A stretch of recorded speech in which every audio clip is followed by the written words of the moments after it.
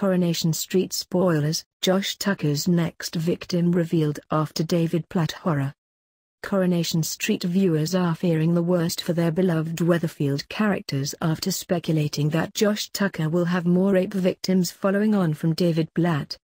David, played by Jack P. Shepherd, was raped off-screen by Josh, Ryan Clayton, after having his drink spiked during last week's Coronation Street.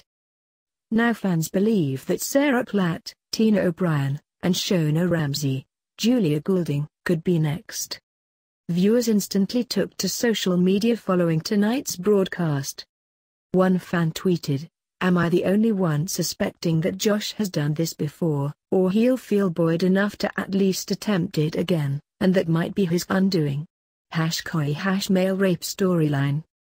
Hash Corrie I reckon Sarah will be next. Josh is a scumbag, posted another. A third wrote, is Josh going to go after Shona next? Hash Corrie. It comes after fans witnessed David sickened by the events of the night before during this evening's double continuation. While Weatherfield residents and David's family believe they are friends, the character woke to distressing scenes in Josh's bed. Returning home, David took a shower and sat collapsed on the floor in shock. He was then seen to bag and bin all of his clothes from the night before. However, concerned fans believe his shower and evidence disposal could cause future problems, with one viewer noting, understandable but David should not have washed, washed evidence of Josh away hash Corrie. Poor David. That shower will cost him the evidence hash Corrie, posted another, as a third said, oh David you shouldn't have been the evidence hash Corrie.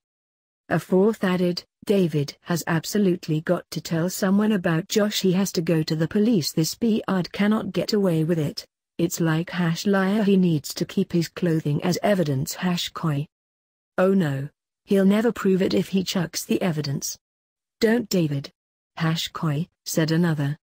Later in the episode, Josh turned up at David's house, with David vomiting at the sight of him.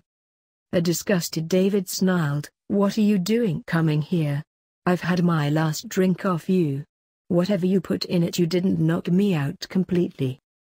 I know what you did and I can still feel it. You're twisted.